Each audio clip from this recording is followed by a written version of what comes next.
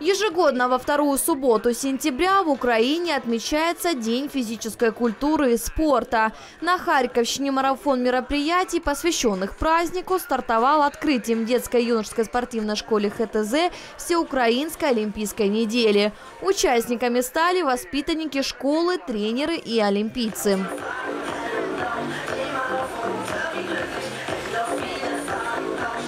Сьогодні ми зустрілися в найбільшій в Україні дитячо-юнацькій спортивній школі ХТЗ, яка налічує біля тисячі, більше тисячі вихованців, е, для того, щоб дійсно відсвяткувати, підняти олімпійський прапор, поспілкуватися з олімпійцями, ну і подивитися, що відбувається на спортивному комплексі ХТЗ.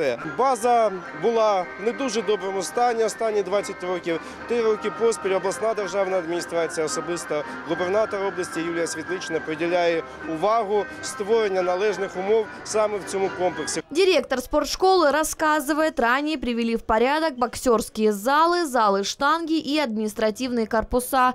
В этом году ремонт продолжается. Мы э, сделали, утеп- утеплили все здания, сделали крыши, поделали комнаты.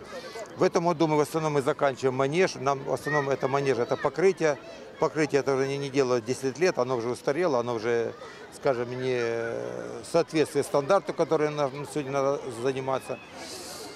И я надеюсь, что мы где-то в середине октября сдадим уже наши покрытия. Ко дню физкультуры и спорта в регионе будут проходить викторины, мастер-классы, соревнования по олимпийским и неолимпийским видам спорта. 8 сентября спортивная программа запланирована и на фольклорном фестивале «Свадьба в Малиновке». Також будуть організовані фотовиставки, виставки науково-художньої літератури на тему досягнення українських спортсменів на європейському та світовому рівнях. У суботу, 8 вересня, в парку імені Горького відбудеться спортивна ярмарка, на якій будуть представлені види спорту, які розвиваються на Харківщині.